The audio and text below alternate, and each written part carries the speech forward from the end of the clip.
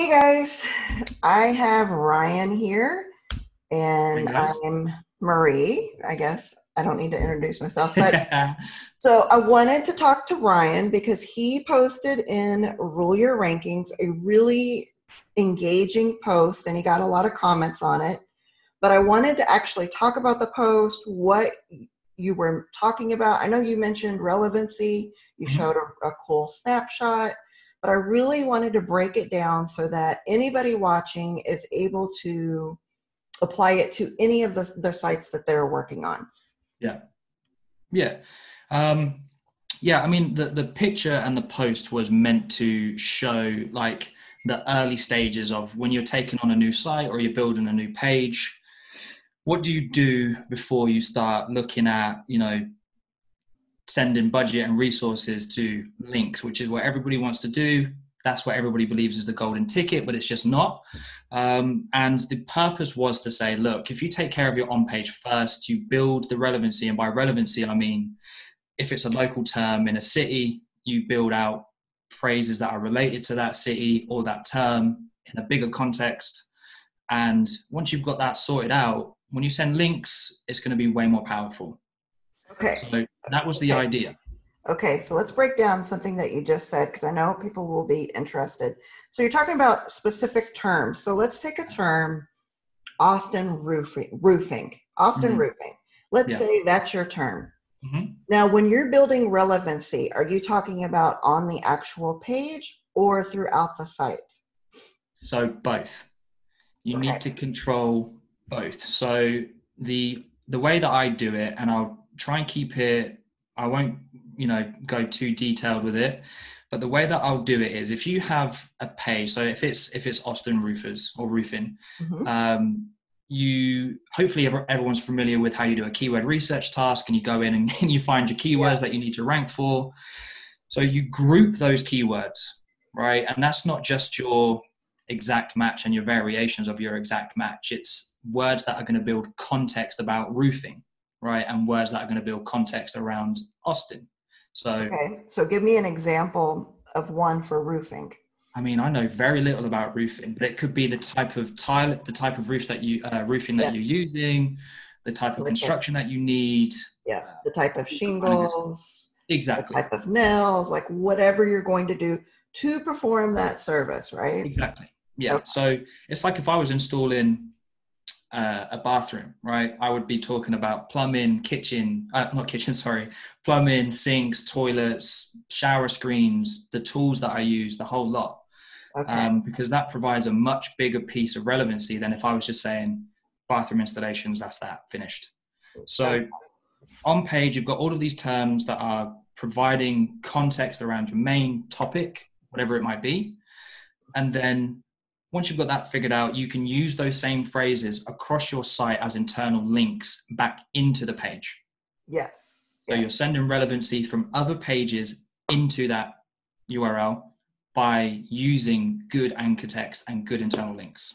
Yes, so you're interlinking, and the Yep. anchors that you're using are the words that you're talking about that help describe the service. The materials that you're using, let's say for roofers, shingles or tools or plumbers with toilets and whatever Yep. else their leaky pipe thing going on. So, Exactly. Yeah. We we don't talk about leaks. We just do not. so when you're looking at relevancy on the actual page that you want to rank, do you use any particular tools or are you just eyeballing it? Like, what are you doing? so I'll do both. So I'll normally look at the top ten results and maybe even the top twenty, and say, okay, so what gaps are they filling that my client isn't? So whether it's like you said, the tool, the type of material, if they're referencing anything to do with the city or the location they're talking about, I'll look at that first. And then I'll take the keyword and I'll use either Page Optimizer Pro and I'll use Cognitive SEO as well. Okay. Um, cognitive SEO is super good for um, the kind of semantic related terms. I would I would recommend that to anybody. okay. And then th- that reminded me, let's try, give me a couple of words. Let's say if your city is Austin, how would you find your rele- your words for relevancy with in the actual city? So um, there's a couple of ways you can do it. So you can take the term and plug it into Google Maps, and you'll get like landmarks and big city uh, stuff that's relevant to the city that you're in. Mm-hmm. You can plug it into Wikipedia and take Austin, and there'll be entities scattered all over the page. Yeah. Um, and you also can grab the images from the image search. So yeah. you type in Austin, and you can grab tons of entities from it that way because it will be in the carousel and it will give it away. Yeah. Um, well, that's how I do it. Yeah, I use Wikipedia most of the time just because it's all just in one yeah. place, and they've probably already found like the biggest and best parts of the city anyway. Yeah. So just exactly the Wikipedia. So it's all there.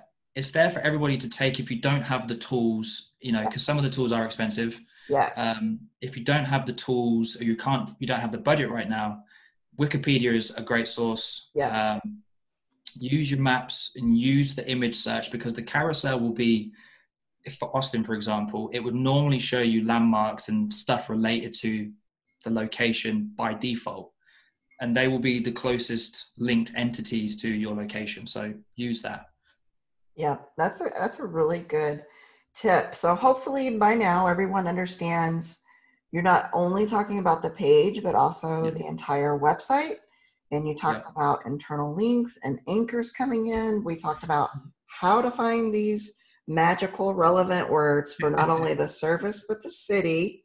So yeah. is there anything else that you need to really point out so that they are able to you know just run with it and do it on all of their sites? Um, it's I mean it's it's a it's a process that you could probably framework um, and just repeat it for each location that you go into. I would always assess your on page the way that you would for any. So if it's an e commerce product or a location, it doesn't matter. The way you do it should be exactly the same. You go out, you find entities related to your keyword, whatever that might be. Um, make sure that you're i mean if you don't again if you don't have tools there are things out there that you can look at like um, seo quake i think it's called free Chrome extension. You can pull all, all of your headers out, see what the header structure looks like, see what the word count looks like, get a decent average of that word count, see where the kind of key terms are in these the, the header structure of the page, figure out if it's like on purpose or once you understand entities, you'll start to notice things in headers. Like people are doing it on purpose. Um, and collect as much as you can about the topic you're writing about uh, things like for location, zip codes in the UK, postcodes, um, close by or nearby cities, again, plays a big part in that. And you can use that as an internal linking structure, super easy to do. Um, and to be honest, I wouldn't overcomplicate it. I just yes. wouldn't. Yes. Keep it simple, fill the page with good, useful content about your service and your city, and you should be good. Yep, that's right. So that's do you have any... that's the secret sauce. well that's but that's kind of boring, right? So it is. there must be it's something boring. better, but really the secret sauce is just work, paying attention to what you're actually doing and then using common sense as you yeah. do it. Basically. I mean that's all there is. That's all there is to it. That is the secret sauce. I mean, if you can get that nailed, you're in a pretty good position. Yeah. Um, because then you can start to guarantee, you know, the outcome. Yes. Once it works a few times, you know it's going to carry on working. Yes, which is what everyone's after is a guaranteed system that works yep. every single time, you know, and something else you mentioned, it, this works across the board on any type of site, um, yep. any site. So if you have a small local site, maybe just with one city, it works. Uh, mm-hmm. I use it for really big ecom sites, for affiliate sites, for national sites, any type of site, the exact same framework works, which I wanted to point out because a lot of times that blows people's mind. They don't realize that across the board, the system just keeps working throughout all of the sites. Yeah, and it's you know I've I've worked with like you said you work with local sites and you're probably more limited in what you can do mm-hmm. um, in comparison with like a big ecom site, but the principles are exactly the same. Yes. Um, and once you figure that out and you understand how you can build relevancy either in clusters, so if it's roofing, you keep that relevancy within a cluster. Um, once you've got that figured out and you know how to drive rele- relevancy between those pages, you could apply it to a huge site and you attack it in sections. Or if it's a small site, you just attack the whole damn thing. Yeah. So it's, it's pretty simple, but it's it's simple, but it's overcomplicated because people want it to be overcomplicated, so it seems cool. Yes. But it's it's not. It's really just it's not sexy, but it's effective. Well, I'll tell you what's cool is going to the bank to cash all the checks. Yeah. Because you have a guaranteed system that works every single time and you're never really worried about what's going to happen to a site. I think to me Yeah. that's cool instead of all the other hype and stuff that we have out there. So Yeah. now you did mention I'll make this point and then you can show us anything that you have and then we'll wrap it up because I like yeah, sure. keep everything short. But what you talked about doing all of this on page, all of the relevancy, everything we just talked about. Do you do that before you worry about backlinks? Absolutely. Um, Okay. And there's one very good reason for that is because if I don't do that stuff first, when I spend money on links, I'm going to end up spending more money. Yep. And their likelihood is they're going to be less effective. Yeah. So yeah. if you're playing with clients' money, you want to get that stuff fixed and Squared make sure you're spending the money exactly right. Yes. Yes. So And always also- do it first. yeah. And also, who doesn't? I mean, I love spending a lot less money on backlinks. Exactly. Right. I want and I want to pocket that. Yeah, I would rather go out to eat, I guess, and Exactly, have it right. as a profit instead of blowing your money through backlink after backlink after backlink. So makes perfect sense to me. I know that's exactly how we've set up the rule your rankings principles and our, our framework and exactly how we work. So that's why I wanted to talk to you about it. Um, I think your system is very similar to ours, and I know you've had a lot of success since we last talked to you. I know Moon interviewed you. How long ago was that?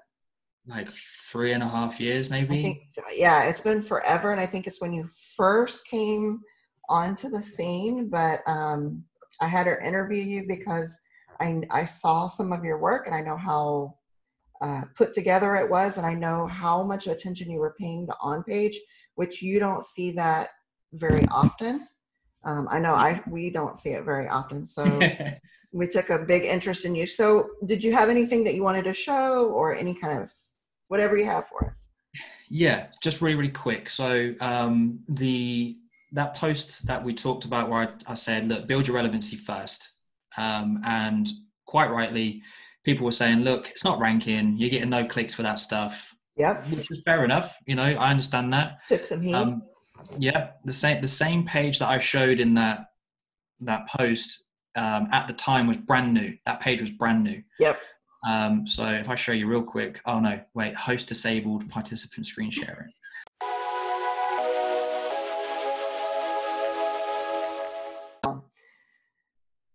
Okay, Okay. so ho- hopefully you can see my screen.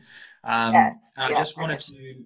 This is the the website that I was working on that the post related to, um, and like immediately the thing that stands out the most. I, I'm just going to put this in context. I started working with these guys three months ago, so not a great you know not a great deal of time to actually get stuff moving and ranking, especially in the web design niche. It's you know quite competitive. Yes. So I took over around here. hmm That's when I took over the site. Um, and you can see the traffic is like coming back to Yes. You Nearly can see a two years ago. nice. You can see a nice spike from that's you know the going back up, but it's interesting that they had such a plummet going down. Do you know what happened? yeah. So um, basically, they have a habit of changing their website and migrating designs, and um, there had never been a thought to do that. You know, to consider what was actually going to happen to those URLs once the migration had happened. um, and also the, the content their blog content was actually really poor outdated and it just needed to get rid of right we got rid of tons of it we just completely scrapped it we didn't need it um, so we got rid of all of that we allowed the crawler to find the stuff that made the most sense so the most relevant pages we don't want to let it spend time on pages that have you know absolutely no purpose Yeah. Um, we fixed that. I built out a, a bunch of new location pages, and we're doing about five or 10 pieces of support and content a month. So this is a lag effect. This will continue to grow over the next couple of months. Um, and it's going to be like the traffic and the, the, the ranking keywords are going to be higher than it's ever been. And the relevancy and the way that that's helped so much is because I focus on getting the on page right first before I even touch links. Mm-hmm. And then I use the links where necessary to power that up. So whether that's at the, the, the homepage or if I need to send it directly at a inner page, I will do that. Um, or if I need to, if I've got a cluster, I will send it into the cluster and let the internal links do its job. Um, and then I just want to show you this quickly. And this okay. is the outcome of that location page, which I put in the group at the time, brand new page in the web design niche. What was it, six weeks ago, five weeks ago? Now we're positioned to no no backlinks at it. I believe maybe actually one, and it's positioned to it's stuck there, and it's there for maybe sixty odd terms. Yeah. So it's ranking go. well, it's doing its job, and the client's happy. They're getting leads in. So that's that's what you need from a client. Um, and you, traffic doesn't have to be massive because if I've got 10 visits a month and they're worth £3,000 per visit, that's way, that's worth way more to me. Yes. Yes. So hopefully that cleared, cleared that up from the, the previous post and why relevancy is so important before you yes. do any links. Yep. Yep. I think we, I think we broke it down as many ways as we could. Um, but if there's questions or someone still doesn't understand something, just drop a comment either, you know, underneath the video or in the group and we'll try and help iron it out or see what we can do to help. So that's all I have. Uh, awesome. It was nice talking to you. I'm glad you took the time out of your busy schedule. and we will see you later. Bye, guys. See you later, guys. And